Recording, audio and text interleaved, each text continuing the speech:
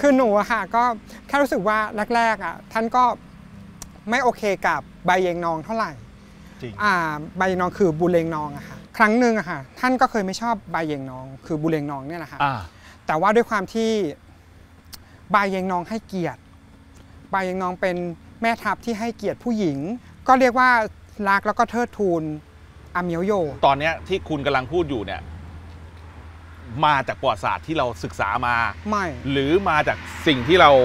สัมผัสได้ณเวลานี้ก็มาจากใครไม่รู้เล่าให้ฟังที่เนี่ยณเวลานี้ที่เล่าออกมาได้เป็นฉากขนาดเนี้ยค่ะเพราะว่ามีคนเล่ามาให้ฟังอีกทีนึงอ่าฮะแค่นั้นเองหนูก็สื่อสารจาก